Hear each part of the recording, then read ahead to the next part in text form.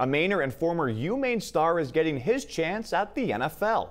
Andre Miller of Old Town signed a free agent contract with the New York Giants today. He was a standout on the football field in Orono for the past few seasons, making the all conference team last fall. His 39 catches and 684 yards last season were career highs. Miller will now head to training camp in a few months and work to make the final 53 man roster.